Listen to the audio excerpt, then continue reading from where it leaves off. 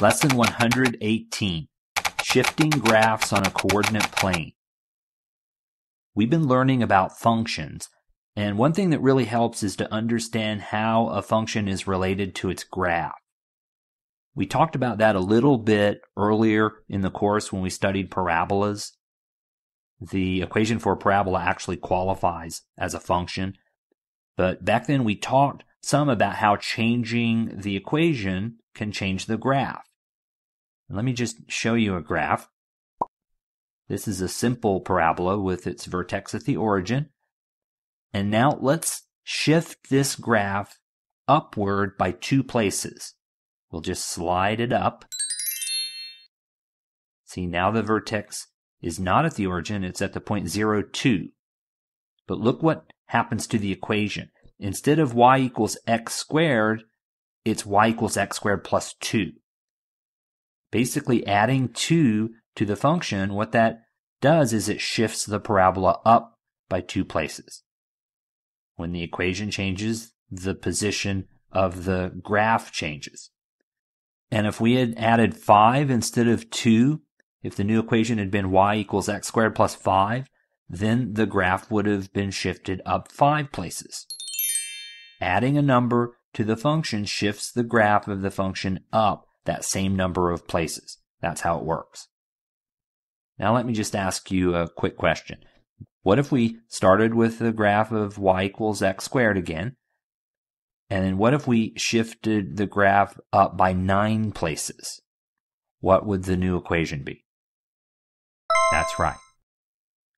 It has to be plus 9 because whatever number you add to the function, that's how many places the graph shifts up. And what do you think the vertex of the parabola is after it's shifted up nine places. Exactly. It has to be 0, 9 because when you move straight up, that makes the y coordinate bigger. It doesn't change the x coordinate. So you go from 0, 0 to 0, 9.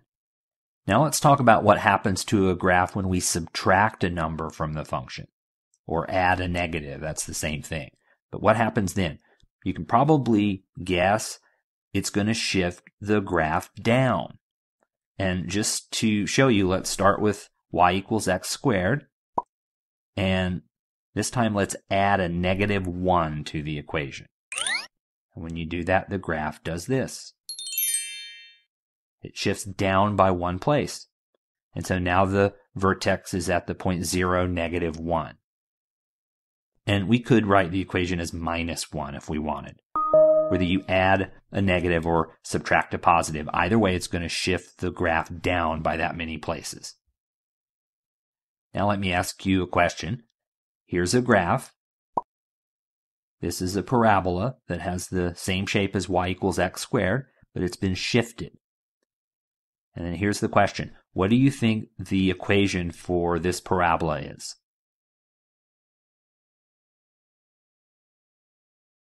Exactly.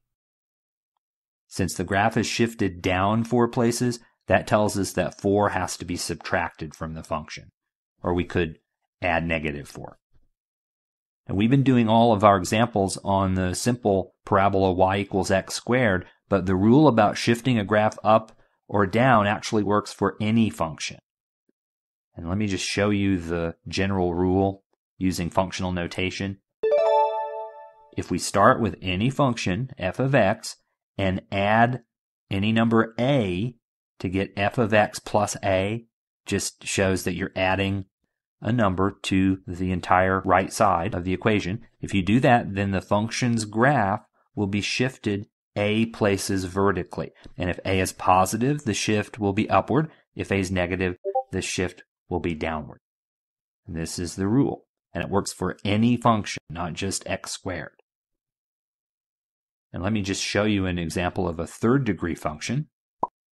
y equals 2x cubed plus 5x squared.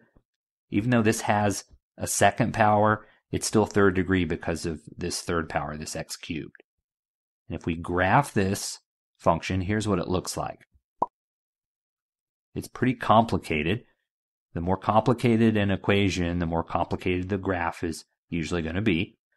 But now let's change the equation by adding 3 to the right side. what do you think is going to happen to the graph? Let me give you some choices.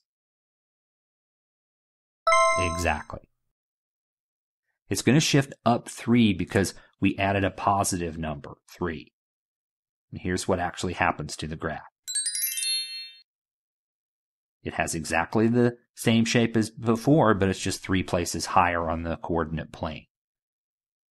And this point right here that was at the origin before is now at 0, 3, three places higher.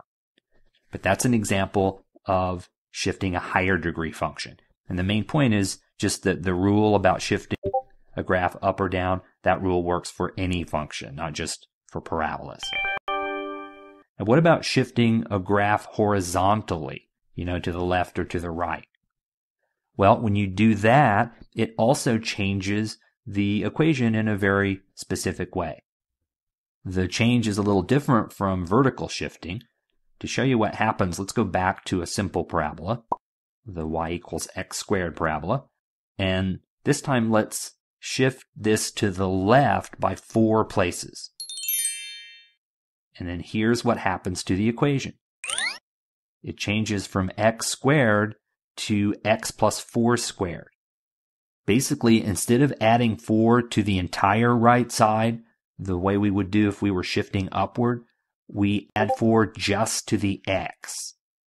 That's how it works.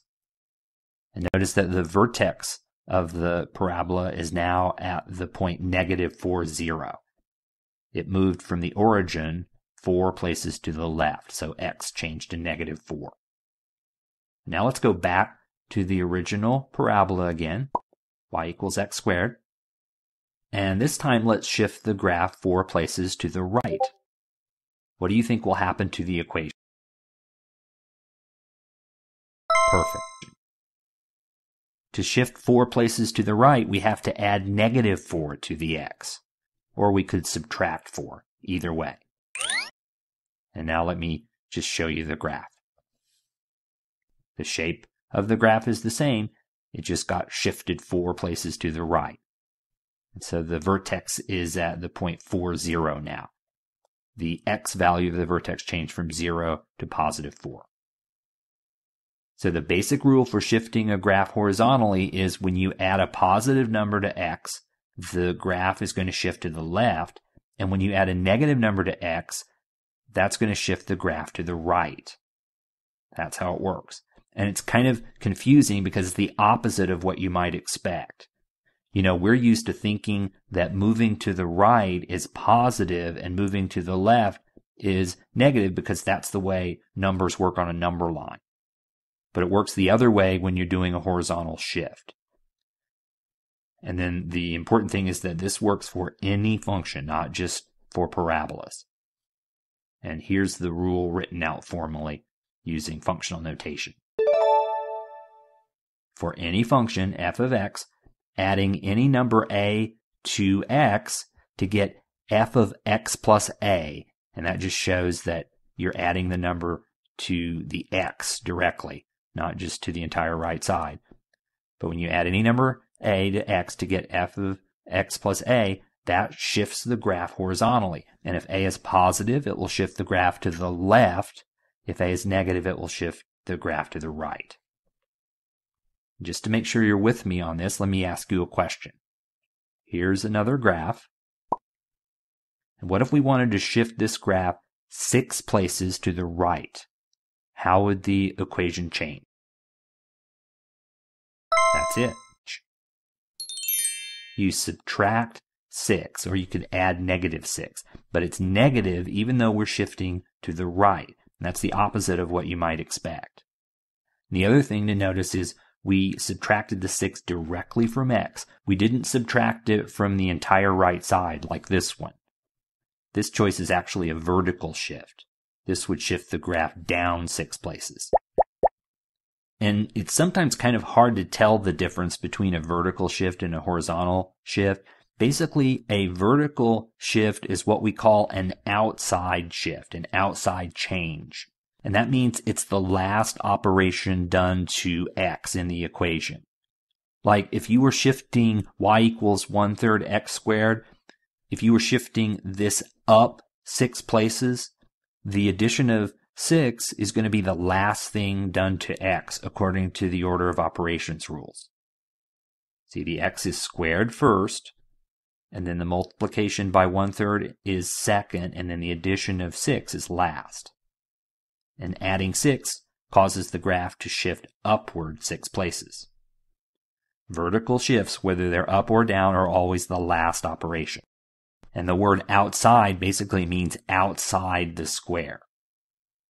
But a horizontal shift is an inside change. And that just means that the change you make has to be the first operation done to x.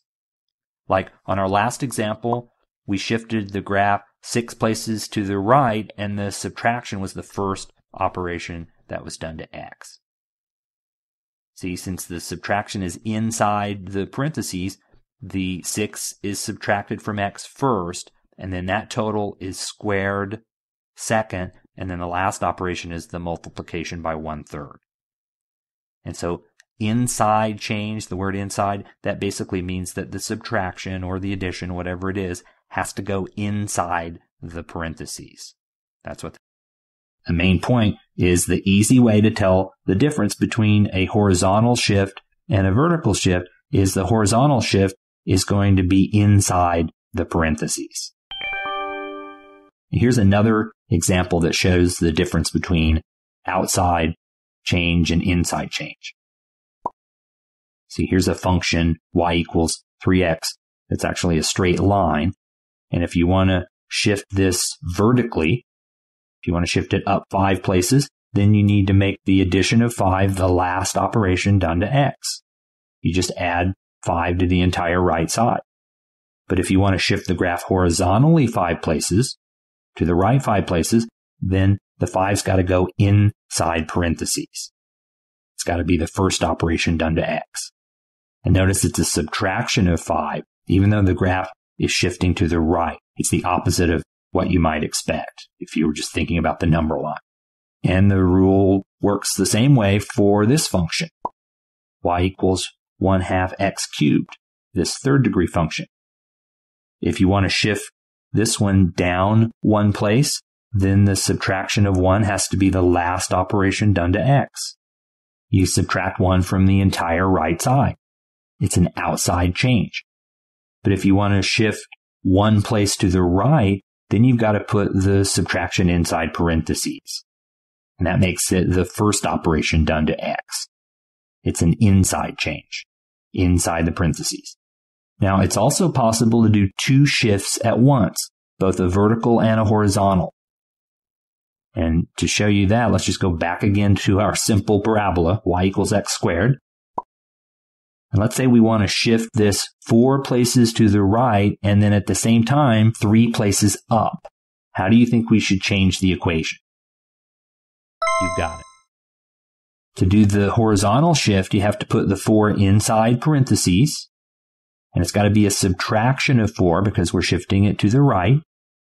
And then to do the vertical shift, you have to add three and it's got to be the last thing done to X on the outside. And then here's what actually happens to the graph. See, it shifts to the right four and then at the same time up three places. And then notice the vertex changes from zero, zero, that's where it was originally, to the point four, three the x value of the vertex went up by four. That's going to the right four places. And then the y value of the vertex went up by three, which is going up by three places. And the new graph has exactly the same shape as the original, but it's just been shifted both horizontally and vertically. And by the way, when you shift a graph like this without changing its shape, the technical word for that is translation. And by doing a horizontal and a vertical shift at the same time, you can basically move a graph anywhere on the coordinate plane. Now, one last thing I want to show you is you may remember earlier in the course, we learned to graph a parabola by putting it into this form. y minus k equals a times x minus h squared. Remember the vertex is the point hk. So whatever the vertex is, for your parabola, its x value is going to be in the h position in the equation and its y value is going to be in the k position. Well, what's kind of interesting is this equation is very similar to our last example. y equals x minus 4 squared plus 3. And actually to make these exactly the same, we can just move this 3 here over to the left side. That makes it negative, makes it a minus 3. And then we can just put the number 1 in the A position. And that won't change the value of anything, multiplying by 1. But now if you compare this with this equation up here, you can see that the vertex of the parabola has to be at the point 4, 3. And we know that that's right. And this just shows you where this graphing form of a parabola actually comes from. Because if you start with the simple equation like y equals ax squared, this is the form for a parabola that has its vertex at the origin. If you start with this, and then if you shift this graph vertically by k places and horizontally by h places, then you're going to end up with y minus k equals a times x minus h squared. And it's those shifts that put the new vertex at the point hk. And so I just wanted to show you that the mathematicians actually use the rules for shifting horizontally and vertically to come up with this form that we use for graphing parabolas, which is kind of interesting.